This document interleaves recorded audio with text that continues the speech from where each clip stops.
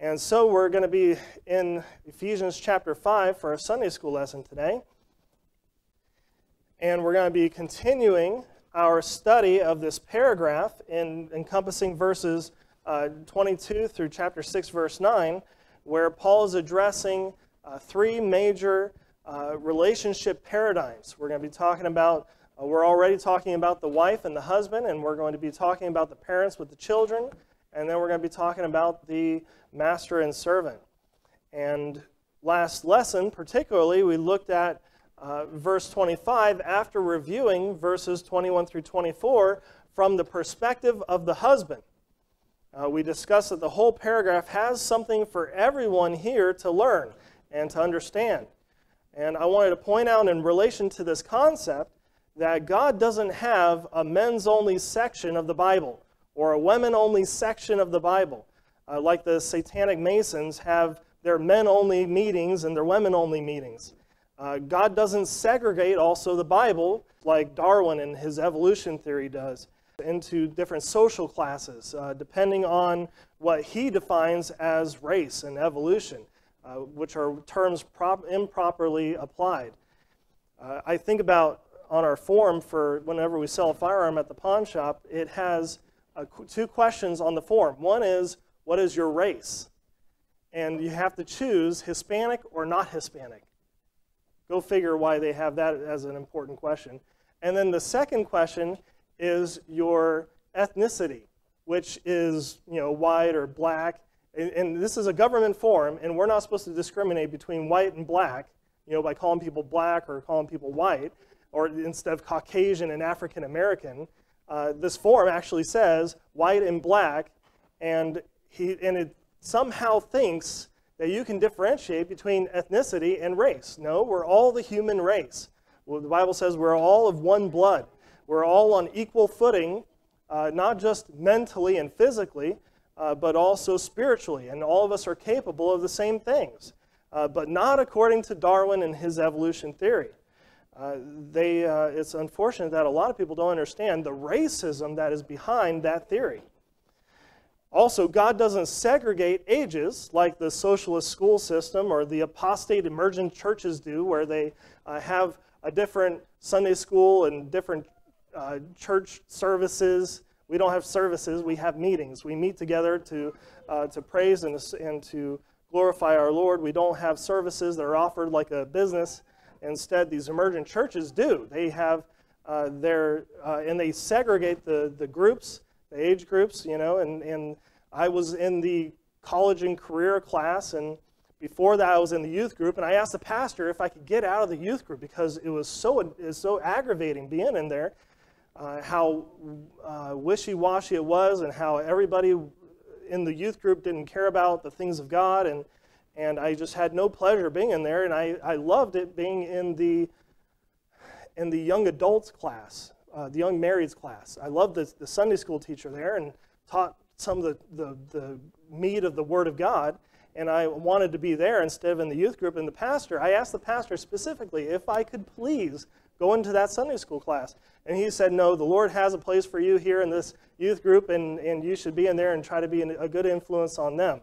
And so I tried, but it was an aggravation. Uh, and so we don't do what those churches do uh, where they segregate the, the different age groups. Uh, we also, uh, when we should understand, so regarding the Word of God, that uh, when it addresses the father, there's still something for the mother and the children. When it addresses the mother, there's still something there for the father and the children. And when it addresses the children, that's not the time and opportunity for the parents to turn off their ears and to stop listening. Uh, there's still something there for the father and mother. Just because God addresses one kind of person doesn't mean that the other kinds of people don't need to listen and learn, uh, even if they have a different gender, if they're, uh, they are in, in, a different location, if they're in a different time period in which they live, if they live in a different society than the original society the Bible was written in, uh, if they're in different, uh, under a different government type, or if they have different degrees of freedom or if they have a different station in life, or if they have a different financial position, or if they have a different job than what is described in that passage, the, that passage still applies to them in some way or to their church. There's a reason why God has preserved that phrase uh, for us today. And so it's for us, it's not for somebody else. We need to apply it to ourselves uh, and find out the application for ourselves. There's, of course, only one interpretation of the Bible, and that's God's interpretation. It's not open to many different interpretations or to somebody's private interpretation. You know, instead, we, we should be looking for the application of that passage to ourselves. The goal of the Christian isn't to come up with some new private doctrine or interpretation, uh, but his goal should be to understand what God's interpretation is of that passage and then find how it applies to the Christian, to ourselves. Not to somebody else, but to myself. so I wanted to point that out about, that about this passage, that it still has application for all of us. Even though it's talking about the wife, the husbands still need to listen. Even though it's talking to the husbands, the wives still need to listen. And the children still need to listen. We saw in verse 21 uh, that the husband should have the fear of God. That, that phrase is not just for the church in general, that phrase is there for the following paragraph, referring to the relationship of the husband and wife, to the relationship of the children and their parents, and to the relationship of the masters and with the servants. That in all these relationships on both sides, there should be the fear of God. And we talked last week about the husband should have the fear of God. We saw in verses 22 through 20 and 24 that the wife is commanded to submit to the husband, not that the husband is commanded to force his wife to submit to him, or to uh, that he is to command or to force his wife to submit to him. We also saw in verse 23 that the husband is commanded to be the head of his home, and we talked about the importance of him being the head of his home, even when the wife doesn't want him to be the head of the home. We saw in verse 23 that the husband is expected to prioritize his concern to keep his family safe, including that uh, biblical doctrine of being the coverture of his family. We saw in verses 22 and 24 also that the husband is expected to exemplify Christ's care and headship of the church in his treatment of his wife. That, that's the whole point of the passage, is to compare the husband and wife's relationship to the relationship of Christ with his church. We then studied verse 25 uh, last week, wherein we saw that the husband is also commanded to love his wife. So the idea of the husband loving his wife didn't, uh, wasn't the first point for the husband in verse 25. It, the verses before applied to him also. We, in that verse, defined what agape love is. And I normally don't use the, Hebrew, the Greek or Hebrew terms, but I think it's good to understand uh, the different terms behind the word love because it helps us to, to identify or differentiate the different kinds of love. And we talked about the two main ones, uh, which are agape and phileo love. Uh, that one is more of based on feelings, the other one is more based on uh, decision or the will, uh, on a conscious decision, on devotion, uh, as opposed to the feelings and the whim. and so we defined what love is there, and we saw that love is more than a feeling, uh, that it's a sacrificial, uh, selfless devotion to that person or that thing or that idea. And we saw that how a husband's agape love for his wife and his family will promote his purity. It'll promote his devotion to his wife and to his family, and it'll promote his commitment to his family if he has biblical love for his family. And we saw how the extent and pattern of Christ's love for the church exemplifies the love that the husband should have for his wife. We saw that correlation there. Today, we're going to be studying verses 26 through 27, where the husband's love is compared further to Christ's love for the church. and so let's go ahead and Turn there to Ephesians chapter 5, starting in verse 25. He says, Husbands, love your wives, even as Christ also loved the church and gave himself for it, that he might sanctify and cleanse it with the washing of water by the word, that he might present it to himself a glorious church, not having spot or wrinkle or any such thing, but that it should be holy and without blemish. So, the first thing that I want to do as we delve into this passage is to qualify what Christ is referring to as the church. This is a controversial subject, uh, even in our church. We've gone back and forth about this. Uh, the Christian has to be cautious not to take parables or types or similes too far. Okay, we've got to understand the difference between these things because they're all throughout the Word of God, and these are the times when we can uh, go without re- reading the Bible uh, literally. Uh, so we have to be able to differentiate these three types of uh, phrases or, or ideas in the Bible with what we should be taking literally.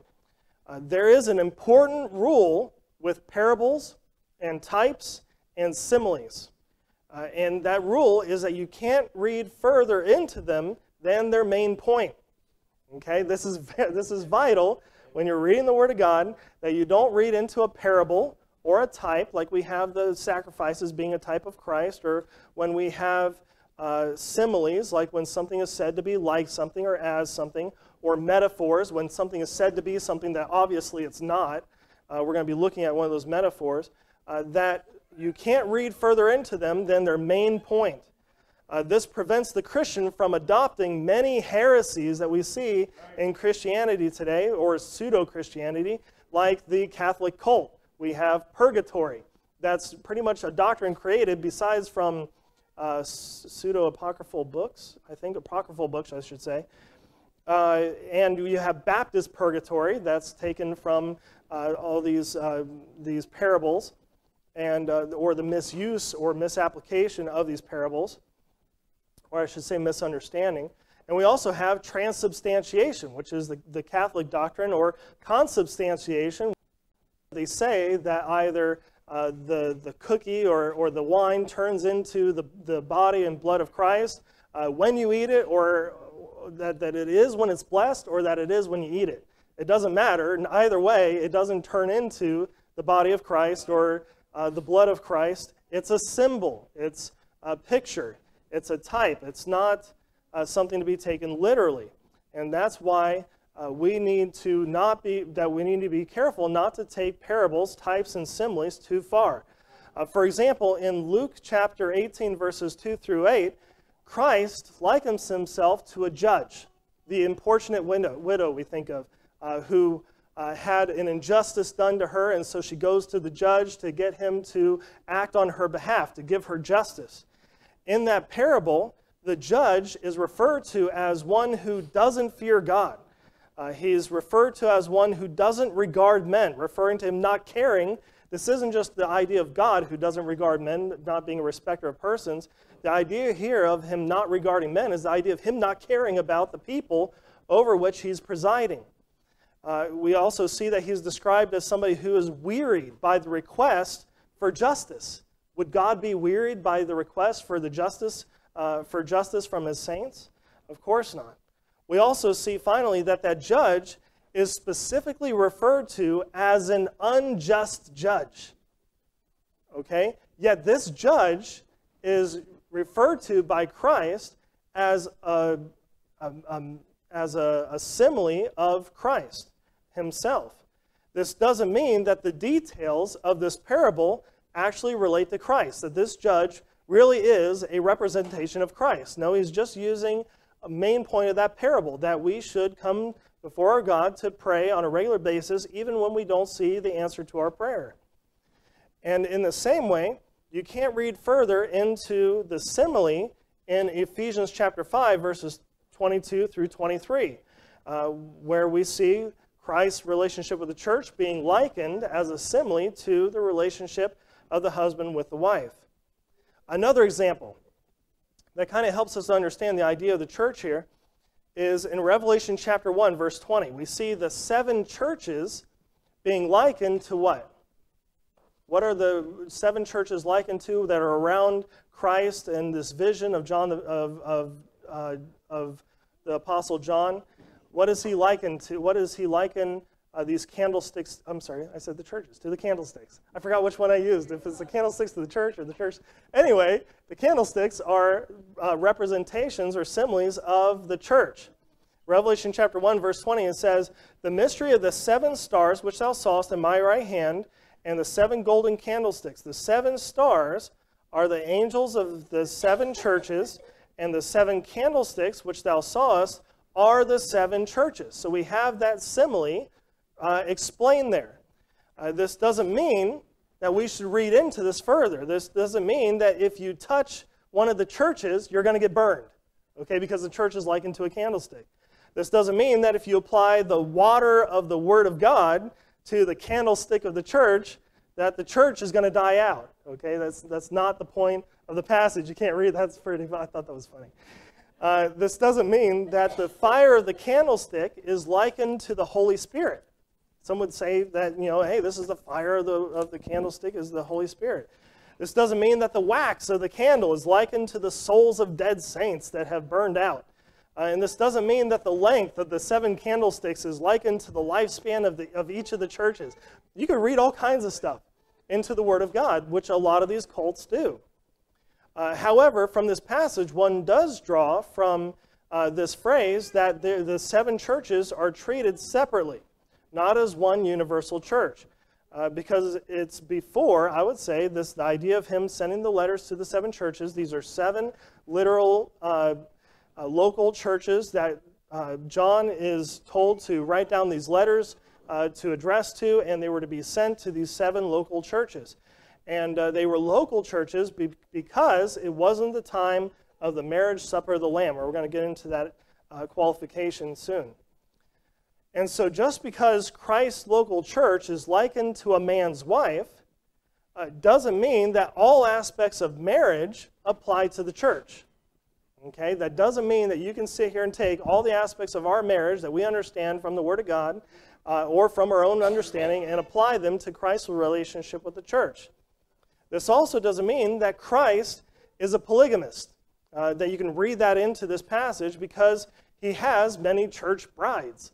That's not his point. Uh, if you could, turn to Jeremiah chapter 3. Go ahead and leave your finger there in Ephesians chapter 5. And let's turn to Jeremiah chapter 3.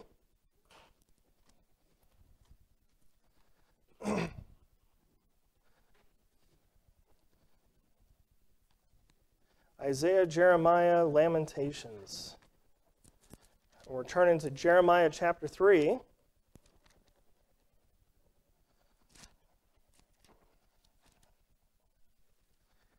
I really need to get a better Bible to do this with. Jeremiah chapter 3, and we're going to be looking at verse starting in verse 6. And we see here that a metaphor is being used. The Lord said also unto me in the days of Josiah the king, Hast thou seen that which backsliding Israel hath done? She is gone up, now he likens him to a woman, she is gone up upon every high mountain and under every green tree, and there hath played the harlot. He's talking here, talking about uh, spiritual harlotry or idolatry. And I said, after she had done all these things, Turn thou unto me. But she turned not, and her treacherous sister Judah saw it and I saw when, for all these causes whereby backsliding Israel committed adultery, I had put her away. So now here it's talking about the idea of marital divorce, of being put away, and given her a bill of divorce. Yet her treacherous sister Judah feared not, but went and played the harlot also, because Israel and Judah are two separate women, uh, and both married to, uh, here in this metaphor, to the Lord. And it came to pass through the lightness of her whoredom that she defiled the land and committed adultery with stones and with stocks, talking about using uh, stones and, and, wood to make uh, idols. And yet, for all this, her treacherous sister Judah hath not turned unto me with her whole heart, but feignedly, saith the Lord. And the Lord said unto me, The backsliding Israel hath justified herself more than treacherous Judah. Go and proclaim these words toward the north, and say, Return, thou backsliding Israel, saith the Lord, and I will not cause mine anger to fall upon you, for I am merciful, saith the Lord, and I will not keep anger forever. Only acknowledge thine iniquity, that thou hast transgressed against the Lord thy God, and hast scattered thy ways to the strangers under every green tree, and, and ye have not obeyed my voice, saith the Lord. Turn, O backsliding children, saith the Lord. Now he likens them to children which is interesting. For I am married unto you. here referring to him being married to children. And I will take you, one of a city and two of a family, and I will bring you to Zion. There he's talking about the remnant that he'll take out of uh, treacherous Israel. And so God here, as a metaphor, likens his relationship with northern Israel and southern Judah as a husband's sister's sister wives. And this doesn't mean that God is here condoning or encouraging polygamy. That's not the point. Uh, God is simply using a real life example that illustrates his point well. He's not saying that he condones this relationship or this kind of action uh, for a wife to do this to her husband or for a husband to have uh, to be polygamist or to have sister wives. Uh, he's not condoning that. He's just using that as an example. And when God then likens them to children to whom he's married, that doesn't mean that you can go and uh, force into this illustration that now he's married the children of his wives. Okay, that's not the point. Uh, the point is just to take it as a metaphor uh, that God is using an illustration. And so also, we see throughout the Word of God, and we're done in that passage, you turn back to Ephesians chapter 5, the church is also likened to a body, a body, a physical human body. Ephesians chapter 1, verses 22 through 23 says, And hath put all things under his feet, and gave him to be head over all things to the church, which is his body, the fullness of him that filleth all in all. So there the church is likened to the body of Christ. Ephesians chapter 5 verse 23 says, "For the husband is the head of the wife, even as Christ is the head of the church, and he is the savior of the body." We're here talking about that same body, the church. Uh, this doesn't mean uh, that there are bodies within the body. Uh, some would say, as far as the universal church, that there are bodies within the body. God never provides an explanation of how there are physical bodies within a spiritual body. Uh, nor does God provide any explanation of how a body can represent a universal church, which is very difficult for somebody to imagine.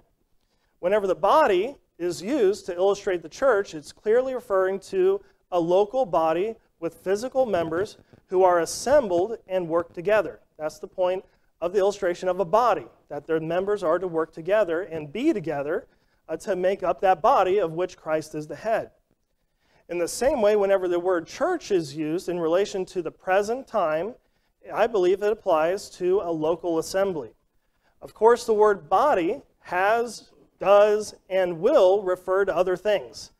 And the word church uh, will refer to something else in the future, uh, but we're referring to its use today. Uh, a church, simply put, is a real life, tangible, physical place where the saints physically meet together to meet with God. That is the church, that it is an assembly. Uh, simply and clearly put, a church is an assembly, and it's only an assembly. That is the definition of a church. It can refer to the act of assembling, it could refer to a group of believers assembling or gathering or congregating. That's what the, the Old Testament refers to the, the, the church of Israel congregating a lot at the a tabernacle of congregation, and that was their church. That was where the people met together physically to meet with their God. Or it could refer to a group of people themselves, not just to the, to the meeting, but also to the people who make up that church, uh, who assemble, who gather to congregate to meet with their God. That's the point of a church, is for the people to meet together to meet with God. I don't believe there's any other definition uh, of a biblical church in the Word of God that we, should, that we can draw from. What the church is has changed throughout time. Uh, before the Mosaic Law, there, the people gathered more together like clans. We had the more, more the idea of the family, and we had the father or the, uh, it was more a patriarch, sorry. It was a, the patriarchal sense uh, where the father was the one who represented the people and taught the people and did the sacrifices for the people. And they met at altars, and the families and the societies uh, physically met together at that altar. Uh, there, at that time, there was no universal or mystical or ethereal church in which they met with their God. In the Old Testament, under the Mosaic Law, uh, God used the terms wife and church several times. We see throughout the Old Testament that God referred to Israel as his wife or his church. Uh, to refer to the Jews in, and to the places in which they met with God. Uh, when the Jews met with God, for instance, at Mount Sinai, the only time where we see the word church in relation to the Old Testament is in the New Testament in Acts chapter 7, verse 38, where Israel met with God at Mount Sinai. That was a church. Uh, he says, it says here in Acts chapter 7, verses thir- verse 38, he says, This is he which was in the church in the wilderness with the angel which spake to him in Mount Sinai, and with our fathers who received the lively oracles to give unto us. So he's there referring to Exodus chapter 20, when Israel came to meet with God at Mount Sinai. That was a church. In Exodus chapter 19, right before the Israelites met with God at Mount Sinai, God gave Moses instructions to give to the Israelites to tell them how to prepare to physically meet with their God and uh, what to do when they approached the mountain to have church. That was their church. That was where they met physically and met with their God. Uh, they were called there his church because that was a real, tangible body of saints in that nation. And that was where the saints were to physically gather together to meet with their God. Uh, during the time of the tabernacle and the temple in Israel, it was called the tabernacle of congregation. It was where the people congregated physically to meet with God. Uh, during the Old Testament, uh, there was no universal church or Catholic church because the people didn't meet together in any uh, mystical way.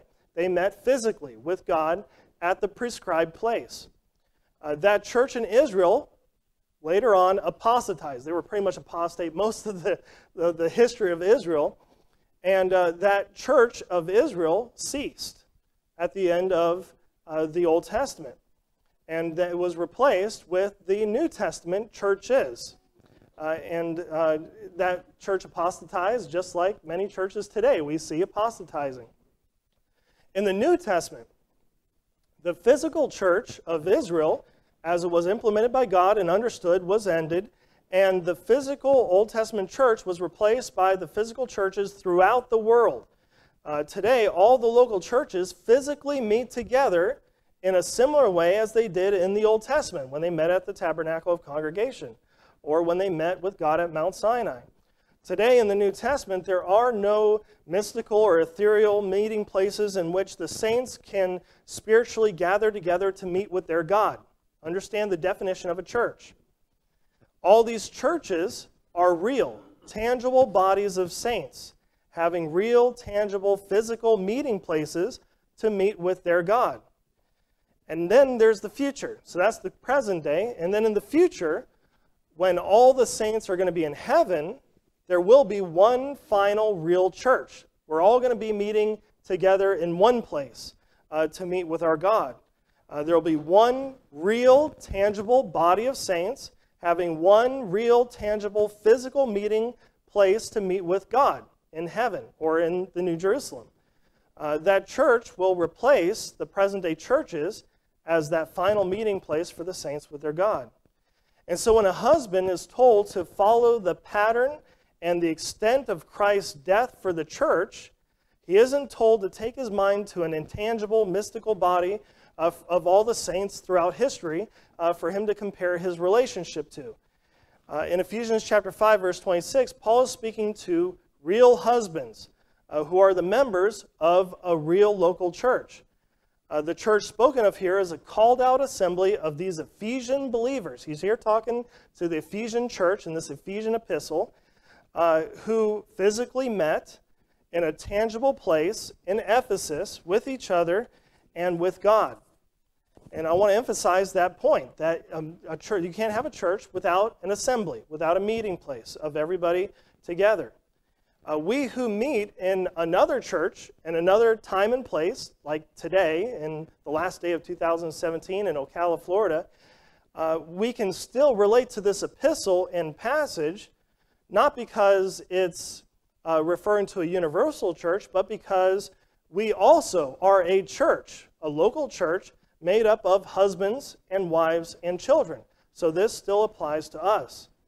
Uh, God's word is living, it's timeless, it's omnipotent, it's omnipresent, and it's able to apply to all churches everywhere at the same time. It applies to all of us everywhere. And so Christ dying for each of the people in that husband's church, because here he's talking to the husband and how he should liken his relationship to the church. Uh, when Christ uh, refers to his act of dying and loving, dying for and loving the church, uh, he is telling the, that husband in that church uh, to relate it to his church. Uh, that it still has a practical application for his church, uh, not just for that man. Every member of that local church is expected to work together as a unit, as a body, to exemplify verse 27 in Ephesians chapter 5, verse 27, that he might present it to himself a glorious church. That is to be the goal of our local church, to be glorious. Not having spot or wrinkle or any such thing, but that it, our church, should be holy and without blemish. That's Christ's intention for our local church. And so that man is also not told that this is the purpose with which a diocese or a network or a partnership or an area, area manager of multiple churches is to be concerned. This is the concern of the local church, not of uh, the, the convention of a bunch of Baptist churches. Uh, this is the concern of each autonomous church. Uh, each local church is to be autonomous. And so here in verses 25 through 27, we're done with that point about the church. In verses 25 through 27, Paul is making an important statement here. Uh, let's go ahead and read it again, starting in verse 25. He says, Husbands, love your wives, even as Christ also loved the church and gave himself for it, that he might sanctify and cleanse it with the washing of water by the word, that he might present it to himself a glorious church. That's the purpose that he might present it to himself a glorious church, not having spot or wrinkle or any such thing, but that it should be holy and without blemish. That Paul is here making an important statement in this verse, in this passage, that Christ didn't save the church just to save the church. And that God didn't save the Christian just to save the Christian. Uh, God doesn't just expect also the husband to marry his wife just to be married to his wife. Uh, God didn't institute marriage just so that men and women can have a status, a social status called being married. Uh, not just so that they can have companionship, so that they can spend the rest of their lives together. And not just so that they can have posterity, that they can have children. Uh, that's not the purpose of marriage. Uh, it is the purpose of marriage if you don't have Christ as your Lord and Savior and you believe in evolution uh, that that's the purpose of their lives is just to have children or one or two not more because then it's bad for the environment and uh, you know it's better for us to kill the babies than the trees. And and so they all they care about is uh, passing off their posterity to their next generation and that's the point of their lives. What a sad existence with no purpose. But god has a purpose for the marriage. Uh, first off i want us to talk about the church that christ saved the church so that it will glorify him. Uh, the purpose of Christ's love and his acts of love is not ultimately for the Christian. It doesn't end, the purpose is not just for the Christian. The purpose of mankind's creation, of the purpose of God's love of mankind, the purpose of mankind's salvation, and the purpose of our Lord's continued care for the church is to cause us to better glorify and to praise Him. That's the end all of the Christian. Not just to save him, but for him to praise and glorify the one who has given him his life and his salvation, his second life. And so there is no higher calling for any creation or for any person or for any marriage than the glorification of our Lord. A person who thinks that God created him and was merciful toward him and empowers him just to have fellowship with God or just to live his life his own way is ignorant of the Bible and of the most important foundational purpose of his life, which is the glorification of God. A person who thinks that he is innately special, uh, to God, or that he's worthy of what God has given to him and done, done for him, or that that person is able to live without constantly glorifying his Lord, that person is mistaken. Uh, he's either not saved or he's backslidden because he's selfish. Uh, he's either ignorant of God's word and or ignorant of his of God's will for his life. And that person who thinks that he can live his life for himself is unworthy of Christ. At salvation, the Christian is crucified to the world with Christ, and he's expected to live as Christ, not however he wants. In Galatians chapter 2, verses 19 through 20, it says, For I through the law am dead to the law, that I might live unto God.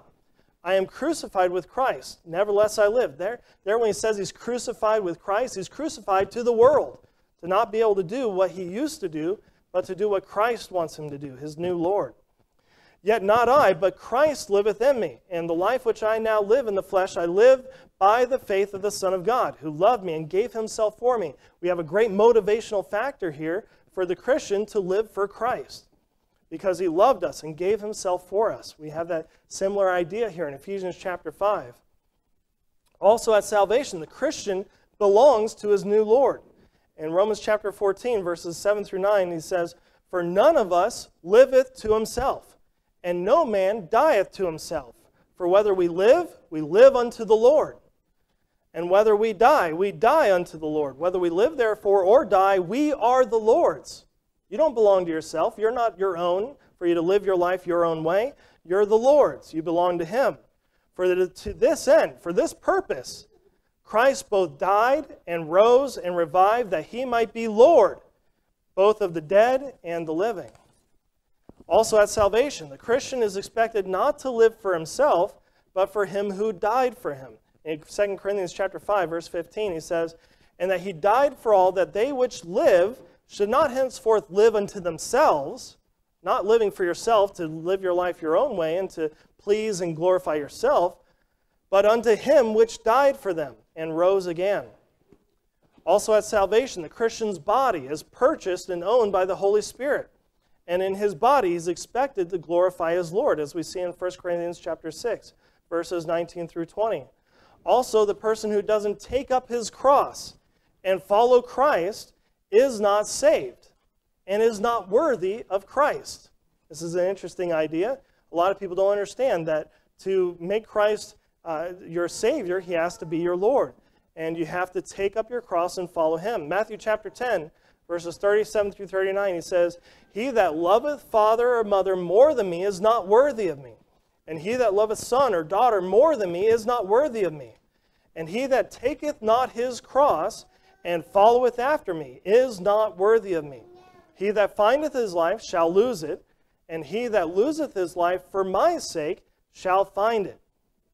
And so, for us to be worthy of Christ, we have to forsake this world, forsake ourselves, forsake our own agendas, and glorify and serve our new Lord. If there's a person in this church who thinks that the whole church's glorification of our Lord is not his concern and duty, he is also mistaken. It's also a matter not just of ourselves glorifying our Lord, but also our church. We are responsible for our church. God didn't place every Christian in the church for any Christian to remain a recluse. We're all to participate and have fellowship with one another and to do more than just participate and have fellowship. Uh, the, God didn't place the Christian in the church, in this local church, to live his life apart from the care of the other members of the church. He should be cared, he should care for the other members of the church. God also didn't put the Christian in the church uh, to serve himself, but to serve the church and to serve the other members of the church. Christ also didn't put the Christian in the church to live without the fellowship and exhortation of the other members of the church, or to not contribute to the edification and the purity and the holiness of his church. That's the purpose of the Christian, to contribute to his church. Every Christian in the church is responsible to actively contribute to his church's glorification of their Lord as much as possible.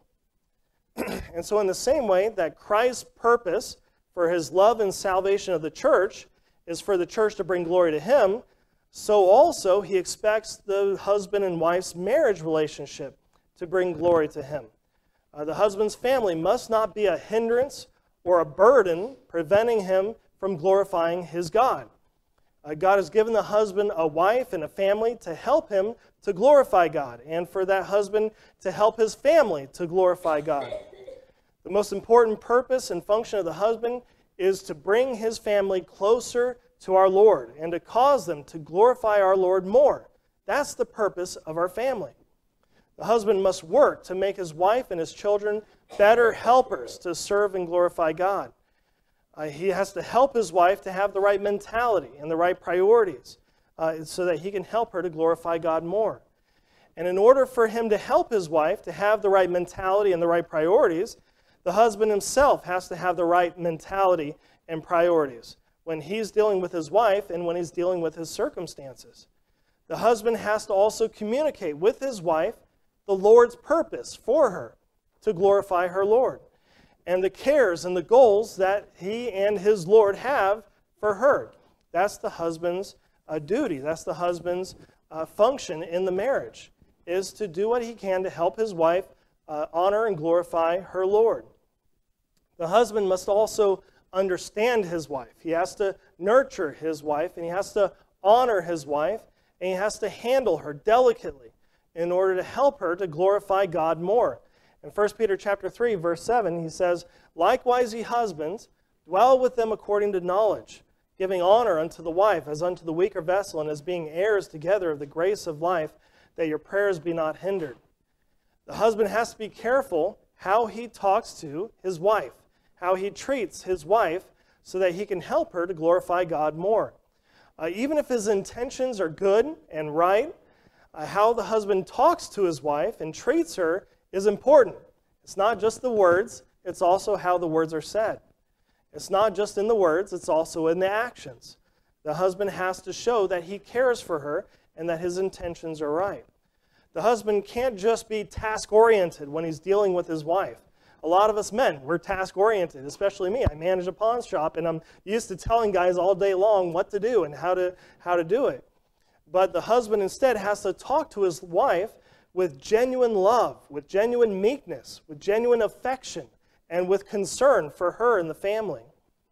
The husband has to make sure that his wife doesn't have any legitimate reasons to doubt his intentions, like being hypocritical or being selfish or, or lying. Uh, the husband shouldn't have, the wife shouldn't have any reason to doubt her husband's intentions. The husband has to focus on how he can lead his wife how he can encourage her to do what is right without coming across as controlling or demanding. And that's difficult, but as a head, it can be done. That is the husband's function. The husband also cannot lose sight of God's greatest intent for his marriage.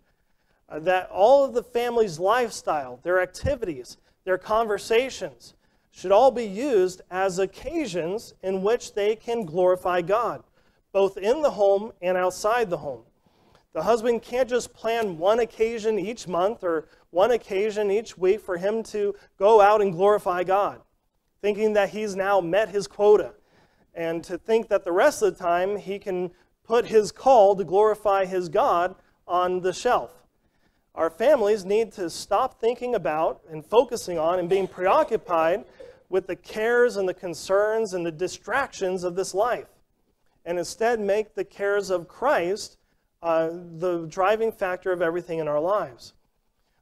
All the ideas and aspirations that we have for ourselves and for our families to do and to accomplish need to be seen from God's perspective and from the perspective of eternity, not what we must do here and now.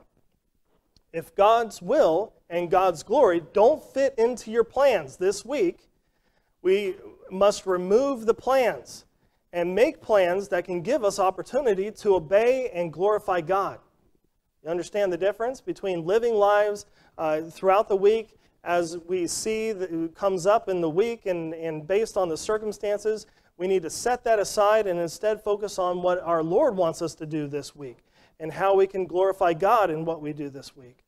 Instead of planning and doing what we want to do or what we need to do, we need to think about how we can glorify God in our plans and in what we want to do and in what we need to do. if we have to go to work, we should think about how we can glorify God at work. If we have to go to the store, we should think about how we can glorify God at the store. If we have to go to, if we're going, we want to go to the park or to, uh, you know, the springs or whatever, we need to think about how we can glorify God at the park. If we're stuck in the house, we have to think about how we can glorify God in the house. Uh, everything in our lives at all times should be about how we can glorify God in doing so. God's not going to bless us for having the most loving and the most fun home. God's not going to bless us for having the cleanest home. God's not going to bless us for having the most strict home or the most well behaved children.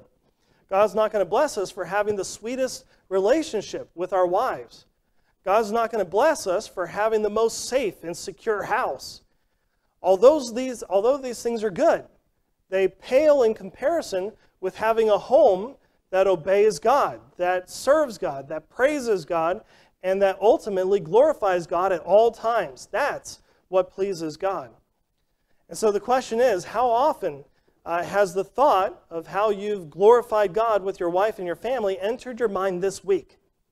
How often have you thought throughout the day that you're glorifying God or how you're going to glorify God and serve God? Uh, think about now all the ways in which you've glorified God in this past week. Uh, can you count on one hand uh, how many times or how many minutes that you spent glorifying your God? Uh, we have to fulfill our calling and our roles as family members and as church members by prioritizing the glorification of our Lord at all times throughout the week, not uh, sectioning it off, not compartmentalizing it, but always focusing on glorifying our God.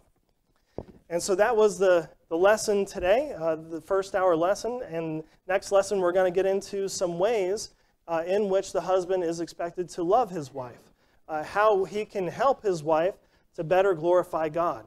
And so uh, we're continuing our study here through Ephesians chapter 5, verses 26 through 27. Uh, I won't do a full review because uh, of uh, I don't want to bore you guys with a review, but last hour we uh, looked at some of the aspects of Christ being Christ's relationship with the church being compared to the husband and his wife, and we saw that correlation, and we saw the most important aspect of that correlation is the purpose of Christ's uh, death for the church and Christ's love of the church is for the church to glorify Him. It's not an end all just to save the church for the church to be saved. It's saved so that it can glorify its Lord. And so now we're going to see some ways in which our Lord intends for the church to glorify himself and for the wife to glorify her Lord uh, with the help of her husband. and so, first, I want us to notice here that the Lord's intent is to prepare the church to glorify him when it is presented to himself. Uh, in verse 27, he says that he might present it to himself a glorious church. He doesn't just say that the church is to, that he loves and he died for the church, uh, for the church to glorify himself. He said that the church is saved so that it can be presented to himself later on as a glorious church. and I believe that the, this presentation of the church to its Lord is a reference to the marriage supper of the Lamb. So now we're getting into that idea that I introduced first hour. Uh, that this seems most likely because it's during the resurrection of the saints, at the time of the marriage supper of the Lamb, when all believers of all time are brought together to dwell with Christ, uh, whether that's in heaven or in earth, uh, during the millennial reign. So we're talking here after the Antichrist is destroyed and all the uh, all of his uh, all of his armies are destroyed and, and the world is brought under submission to Christ, but then begins the, uh, the millennial reign. And first off, we have the, the resurrection of the saints, and we have the marriage supper of the Lamb. In Revelation chapter 19, verses 7 through 9, he says, Let us be glad and rejoice and give honor to him, for the marriage of the Lamb is come, and his wife hath made ready herself made herself ready, and to her was granted that she should be arrayed in fine linen, clean and white. Here, talking about the holiness of the saints, referring to the saints who have all uh, been resurrected. For the fine linen is the righteousness of the saints. And he saith unto me, Write, blessed are they which are called unto the marriage supper of the Lamb. Uh, so during the millennial reign, there will be no more churches meeting separately with Christ, but instead all saints will meet together with Christ at once. In Isaiah chapter 2, verses 2 through 3, he says, And it shall come to pass in the last days that the mountain of the Lord's house shall be established in the top of the mountains. Uh, there, I believe, referring to uh, Mount Sinai particularly, and shall be exalted above the hills and all nations shall flow unto it. And many people shall go and say, Come ye, and let us go up to the mountain of the Lord. They're talking about, hey, let's go have church to the house of the God of Jacob, and he will teach us his ways. Hey, that's what's going on right now. We're having teaching and church, and we will walk in his paths. For out of, the, out of Zion shall go forth the law and the word of the Lord from Jerusalem. So we have there a, a picture of what's going to be like uh, when all the saints are gathered together with the Lord in heaven, and we all get to meet together to praise and worship and uh, to hear from our Lord. So I believe this phrase refers to the Lord working in the hearts and the lives of all the members of the local church until the marriage supper of the Lamb, when the church of all saints in its entirety assembles to meet with its Lord. Uh, it appears that Paul has the same event in mind when he mentions his same intent as our Lord here, when he speaks of a time in which he is, will also present the Corinthian churches to Christ, the Corinthian church to Christ. In 2 Corinthians chapter 11, verses 2 through 3, Paul says, For I am jealous over you with a godly jealousy, for I have espoused you to one husband, that I may present you as a chaste virgin to Christ. So there he's talking to the Corinthian church, saying that he has espoused them to Christ. Well, what is his purpose? Not to end at espousal, uh, to become a spouse. Uh, there was a purpose for it. For I have espoused you to one husband, that I may present you as a chaste virgin to Christ. There we see that same word, presentation, that I may present you to Christ. But I fear lest by any means, as the serpent beguiled Eve through his subtleties, so your minds should be corrupted from the simplicity that is in Christ. He's, uh, they're warning them of uh, their doctrinal error. And it appears that Paul also referred to this event and to this time period in 2 Corinthians chapter 4, verse 14, when he says, Knowing that he which raised up the Lord Jesus shall raise up us also by Jesus and shall present us with you. Well, when does this presentation happen? When will the church and uh, Paul himself be presented uh, to Christ? And that, I believe, is at the marriage supper of the Lamb, when uh, the bride, uh, when we have uh, the bride being presented to Christ. Uh, Christ is preparing now the local church to be presented to himself. That's, I believe, the point here in Ephesians chapter 5. Christ is working on the church to be pure, to be clean, and uh, to be sanctified, so that when the marriage supper of the Lamb comes, the church will be the most ready that it can be to give him the most praise and glory that it can at that time, when that time comes. I believe that the preparation of the Ephesian church for this event is what Paul had in mind in chapter 3, verse 21, when he says, Unto him be glory in the church. I believe he's here referring to the local church.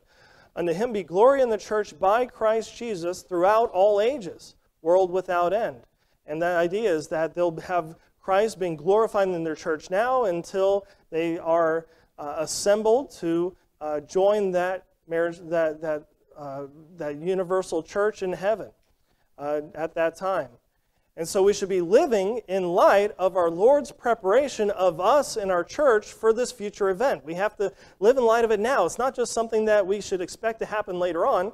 We all understand that the sanctification of the Christian is an ongoing process. And then if we decide, I don't want to be sanctified right now and I want to live like the world and, and be carnal, uh, that Christian is going to have the chastisement of his Lord upon him uh, and that Christian is going to have a miserable life, and uh, when in knowing what his Lord expects for him to do, having the conviction of the Holy Spirit, having the chastisement of his Father upon him. And it's better for that Christian to instead say, hey, the Lord is working on me to sanctify me for the future, to prepare me for heaven. I should go ahead and submit to that now. Uh, Christ will be the end all of our local church. Uh, and he will be the one in the end that we will care the most about to impress and to glorify and to please. And so he might as well be the end all of each and every one of us in our lives and in our families and in our church now.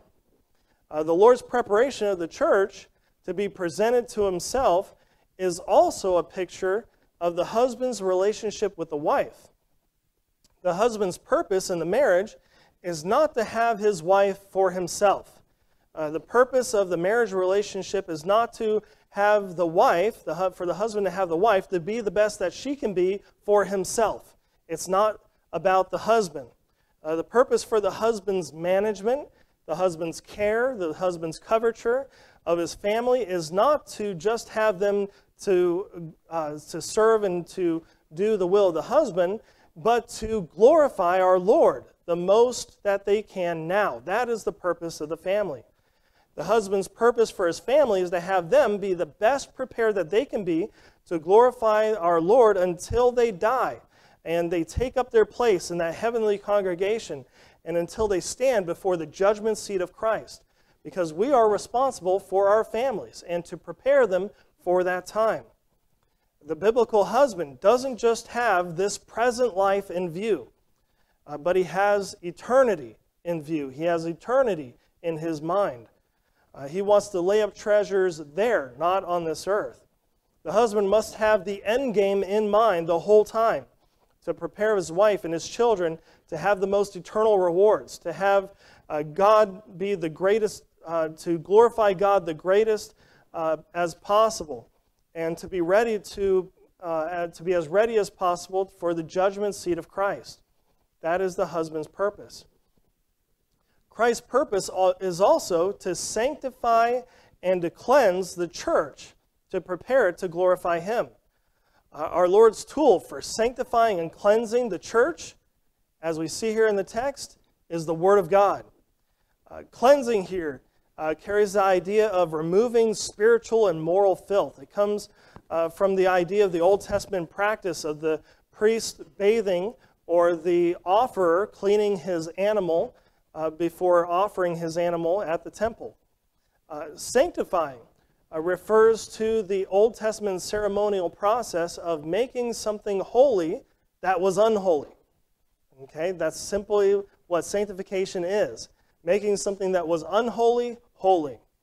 Uh, sanctification of the saint under the Mosaic law occurred when that saint repented of his sin or his transgression of God's law, and he sought to be right with God, so he sought God's fellowship at the temple.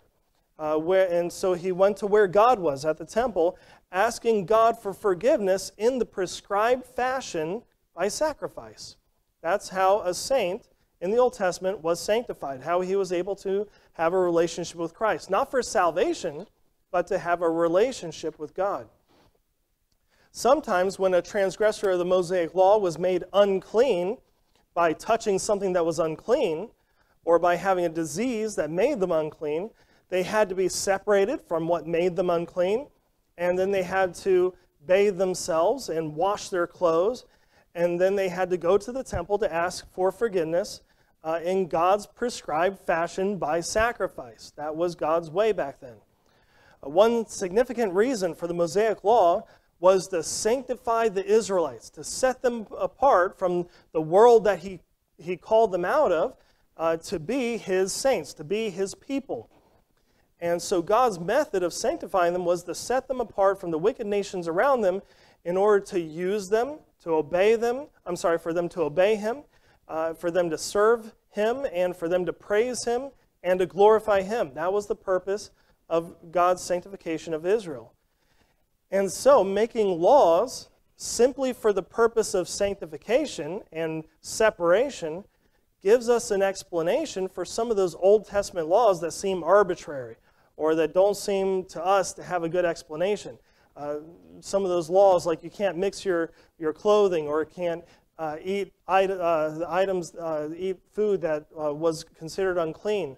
Uh, some of these things we don't necessarily understand why God made these laws. Well, a lot of the laws, were, or some of the laws, were just made to sanctify the people, to, to show that they were different. And uh, there are several passages relating to that. I should have uh, record, I should have uh, had one to, to read to you. Uh, sanctification also relates to sanctifying something by performing the ceremonial practices that the Mosaic Law provides in order to make something or someone holy. And we're going to get into that idea further in a little bit. The Christian today, though, doesn't have to be physically cleansed and to obey the Old Testament ceremonial practices. And aren't we thankful for that? That we don't have to go to some temple in Israel Instead, we can come right here in, into a, local church. And we don't have to uproot and move to Israel. Uh, we can now uh, fellowship with God here in the church as a group.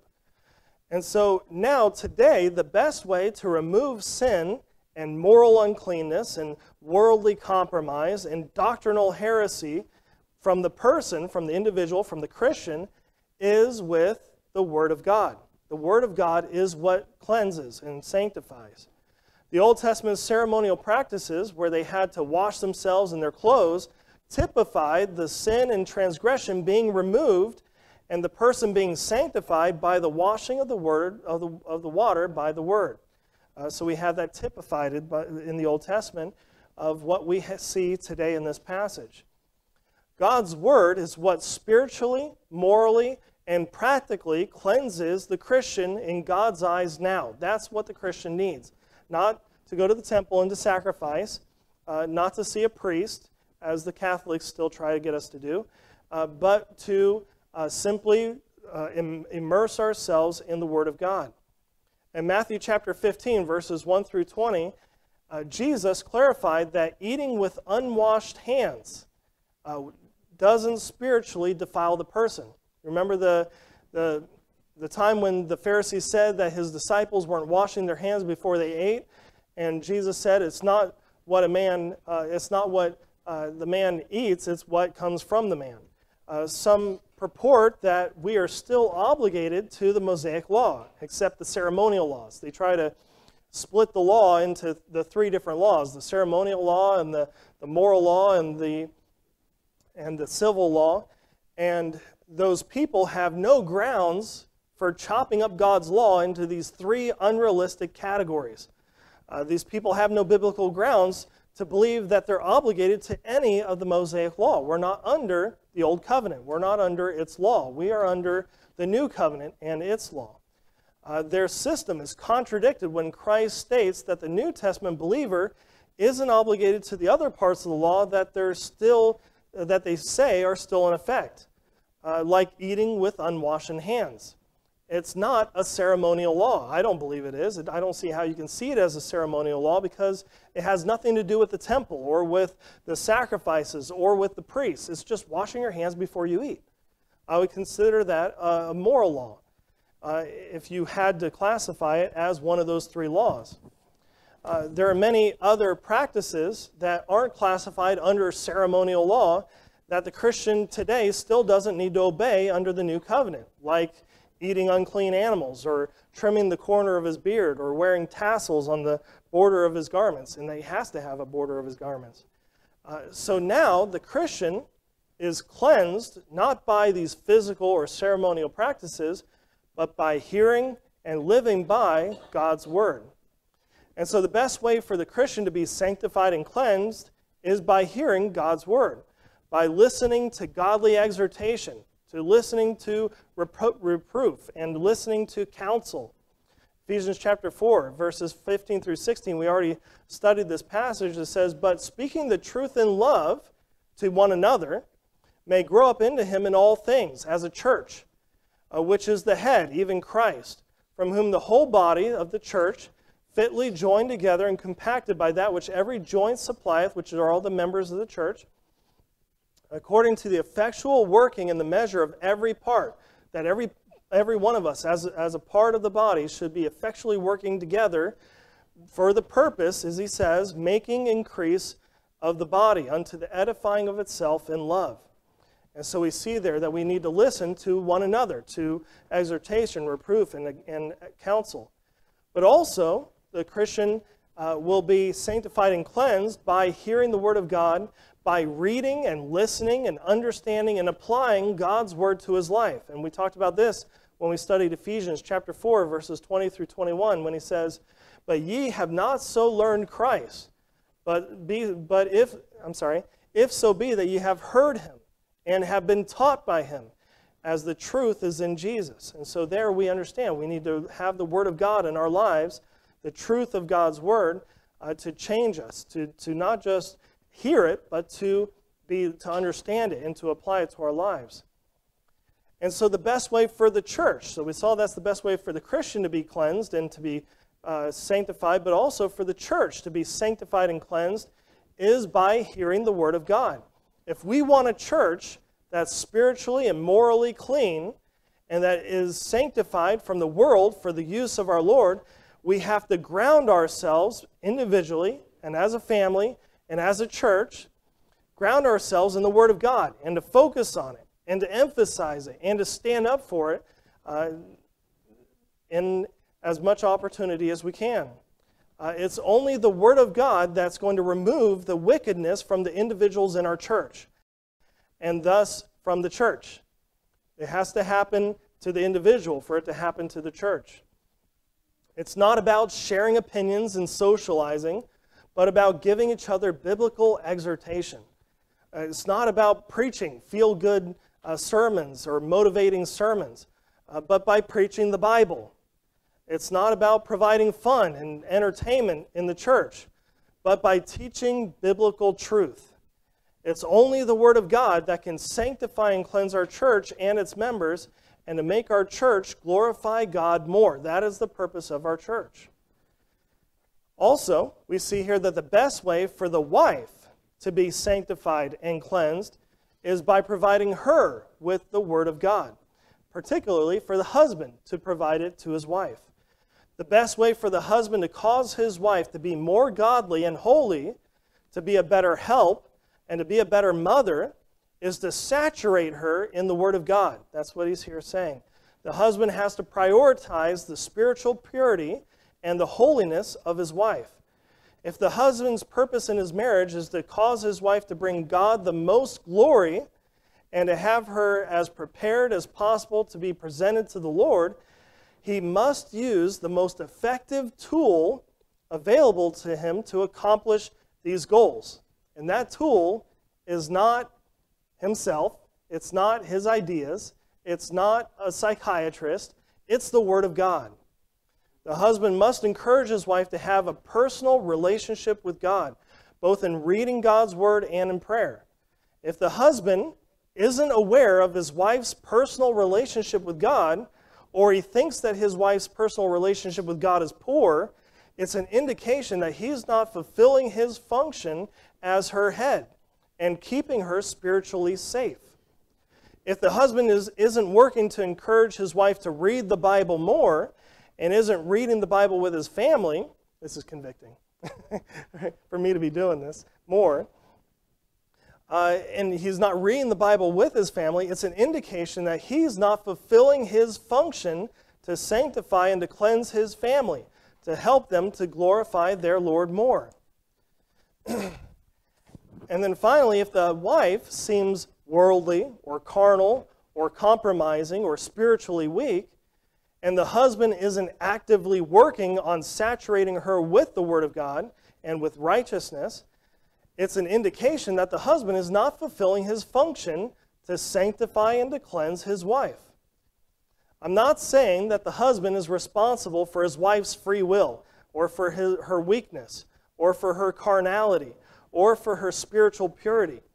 However, if the husband is failing in that particular function of sanctifying and cleansing her with the washing of water of the word, then and his wife is failing in her role as a wife uh, to glorify herself and her husband and her God, and she is failing in her walk with God and in her glorification of God, that husband is responsible and he will be held accountable. Because he is contributing to the problem instead of contributing the solution. If there is a husband that thinks that this might be the case in his home, he has to immediately change his priorities and prioritize, prioritize his wife's spiritual condition. He has to focus primarily on his wife. And he has to focus on building her up and edifying her however he can with the Word of God. Yes, you have to think about how to do that. We have to look for opportunities and make opportunities for us to build up our wives and edify them uh, with the Word of God. We have to encourage our wives to be right with God, to obey God, to serve God, and to glorify God. Uh, that husband must not stop obeying God or stop serving God or stop glorifying God, but he must understand that in order for him to best obey God, to best glorify God, he needs his wife's help. She is intended to be his help to help him to glorify his Lord. And so he needs to get her on the same page with his Lord and uh, with himself. If the husband doesn't think that this is the case in his home, uh, the husband still must actively make sure that it is. Uh, he has to continue to prioritize his wife's spiritual condition. Uh, that he has to continue to make sure that his wife has uh, the proper spiritual direction that he should be giving her. Uh, he should be making sure that his wife has an adequate walk with God. And he should making, be making sure that she is spending time in the Word of God, that he's spending time in the Word of God with his wife. The word spot here refers to either the sacrifices or the priests uh, being without imperfections or disease, uh, manifesting itself in unnatural spots or blemishes in the skin. That's the idea of spots. The word wrinkle. Wrinkle is only used once in the Bible. It's nowhere in the Old Testament. It's kind of interesting that he talks about not being, being without wrinkle, and yet there's, uh, it's, it's not easy to find the relation of that to uh, the Old Testament idea. I believe that the sacrifices and the high priest not having wrinkles uh, refers them being in the prime of their lives as opposed to being old, you know, having wrinkles. and regarding the sacrifices, I believe that being without wrinkle refers to God's concern throughout the giving of the Mosaic Law that the sacrifices had to be young, right? How often do we see, as we read through the Old Testament, especially the Pentateuch, how uh, the uh, sacrifices were all supposed to be young, uh, of a year old or young. We see in Leviticus chapter 23, verses 18 through 19, he says, And ye shall offer with the bread seven lambs without blemish of the first year, and one bullock and two rams. They shall be for a burnt offering unto the Lord with their meat offering and their drink offerings, even offering made by fire of sweet savor unto the Lord. Then ye shall sacrifice one kid of the goats. A kid refers to a baby goat a young goat, for a sin offering, and two lambs of the first year for a sacrifice of peace offering. So here we see uh, several examples of sacrifices that were supposed to be young. Uh, that God doesn't want us to just give what's left over, what's about to die, or what's useless to us. He wants us to give what is uh, in the prime of its life. And also regarding the high priest, this is interesting. Uh, that I believe being without wrinkle refers to the age qualifications of the high priest uh, given in Numbers chapter 8, verses 23 through 26. It says, And the Lord spake unto Moses, saying, This is it that belongeth unto the Levites, from twenty and five years old and upward, they shall go in to wait upon the service of the tabernacle of the congregation. And from the age 50 years, uh, they shall cease waiting upon the service thereof, and they shall serve no more but shall minister with their brethren in the tabernacle of the congregation to keep the charge and, and shall do the serve do no service.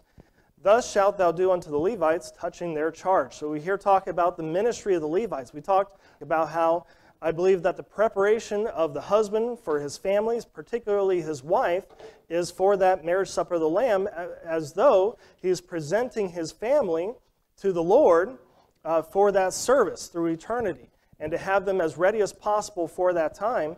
And it's the same idea as, as the Levites being prepared for their greatest calling upon earth, which was to minister in the tabernacle. And so I'm, uh, that's an interesting observation about the word wrinkle. Uh, and then he says, not having any such thing as spots or wrinkles, referring to anything indicating imperfections or disease contamination or an inability to be an ideal sacrifice or to be an ideal servant of the Old Testament temple. And so I believe in Ephesians chapter 5, verse 27, uh, that these physical re- requirements that we see in the Old Testament are here being likened to how Christ wants the church to be spiritually, morally, and practically, how he wants them to be clean and sanctified and qualified to praise, serve, and glorify him the best possible, uh, both now and in the future. And we saw that although all these Old Testament terms in verses 26 through 27 can refer to both the Old Testament sacrifices and the Levitical priest, uh, I believe that they refer here to the preparation of the Levitical priest for service, because you got to liken it to something. And I don't think it's likening to both. I think it's um, referring to the Levitical priest, but it could be to both or to just uh, to the sacrifice. I'm not uh, dogmatic about that. I don't think the passage is. and then I want us also to see here that the glorious kind of church is one that will be holy and without blemish. Notice here the phrase at the end of verse 27 that might be holy and without blemish. The picture here is of the Old Testament offering of an animal or a priest. Both of them were to be holy and without blemish. It's an interesting thought. Uh, some might immediately turn to the thought of the sacrifice in Leviticus chapter 22, verses 18 through 25.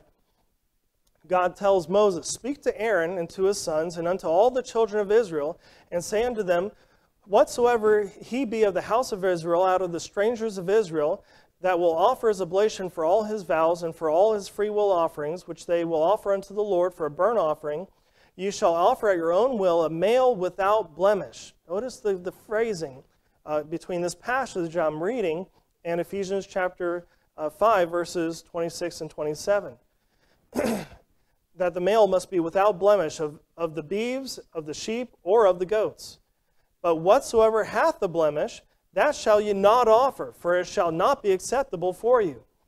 And whosoever offereth the sacrifice of peace offerings unto the Lord to accomplish his vow, or a freewill offering in beeves or sheep, it shall be perfect to be accepted. There shall be no blemish therein. Blind, or broken, or maimed, or having a wen, or scurvy, or scabbed, you shall not offer these unto the Lord nor make an offering of, by fire of them upon the altar unto the Lord. Either a bullock or a lamb, or that he hath any that hath anything superfluous or lacking in his parts, that, that mayest thou offer for a freewill offering, but for a vow it shall not be accepted. Ye shall not offer unto the Lord that which is bruised, or crushed, or broken, or cut.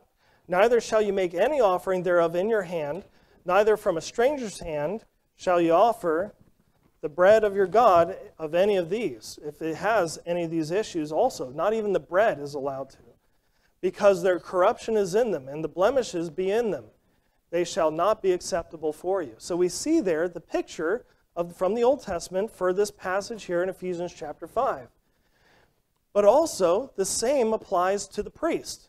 In Leviticus chapter 21, verses 17 through 23, he says, Speak unto Aaron, saying, Whosoever he be of thy seed in their generations that hath any blemish, let him not approach to offer the bread of his God.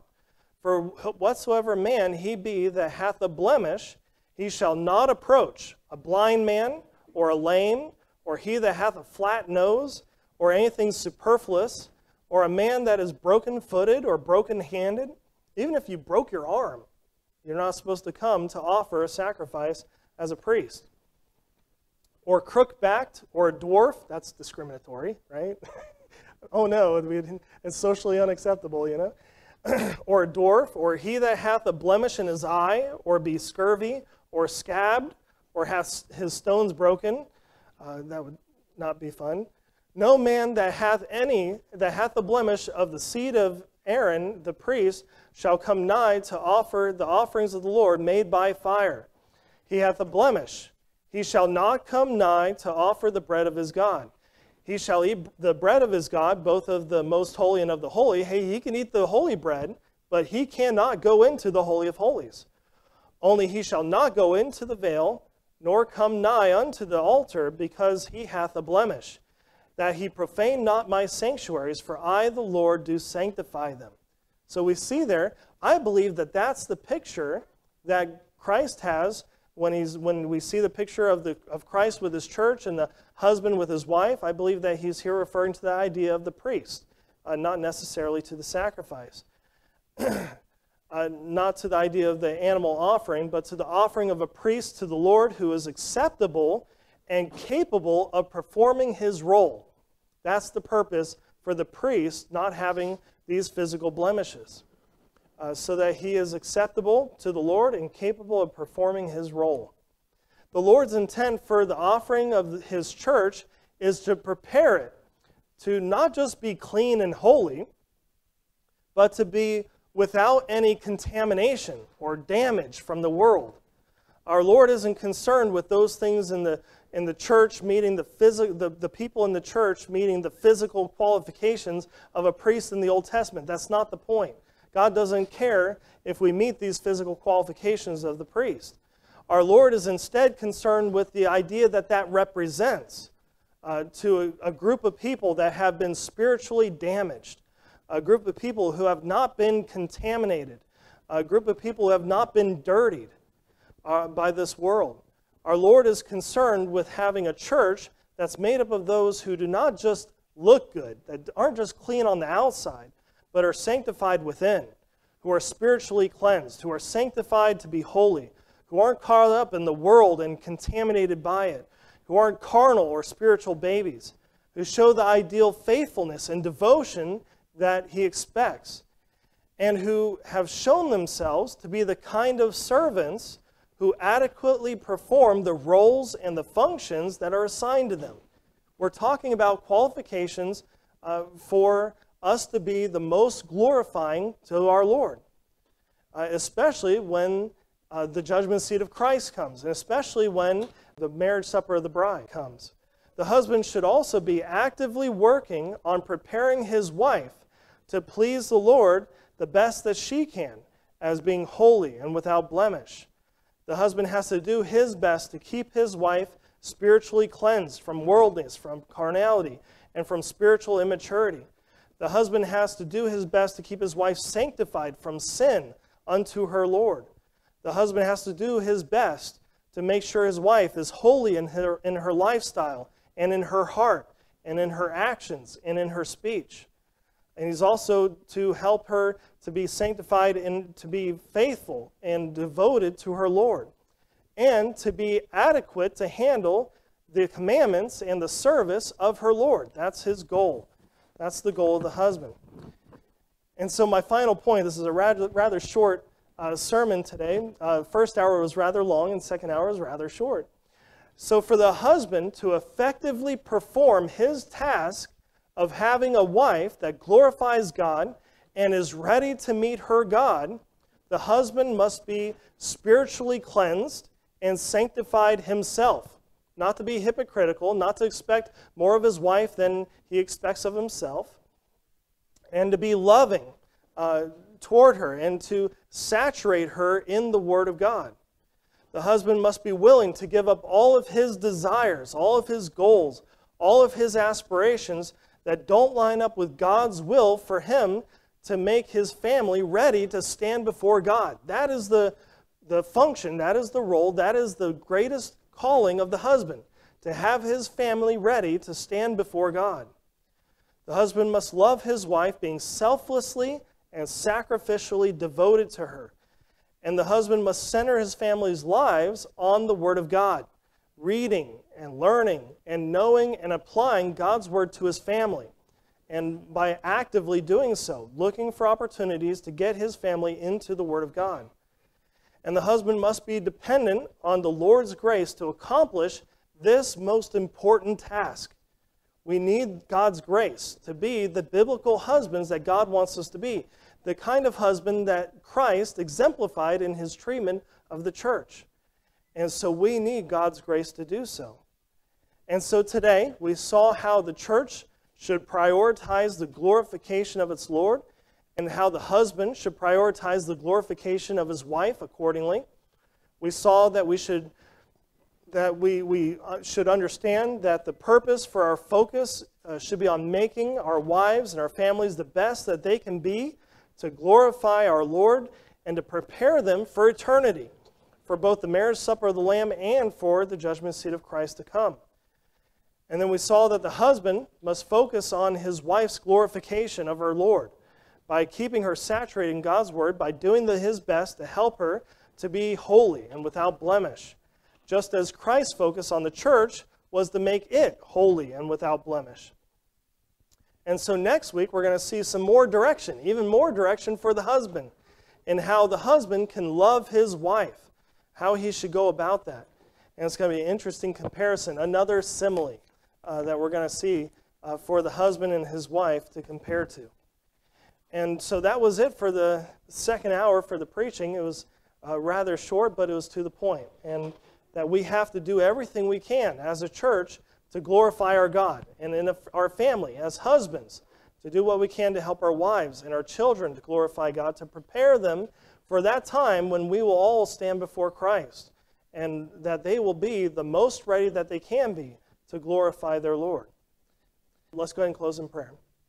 Heavenly Father, we thank you for the teaching of your word. We thank you for the power of your word, uh, that it helps us to understand your will for our lives, that we understand what we should prioritize and how we should live our lives.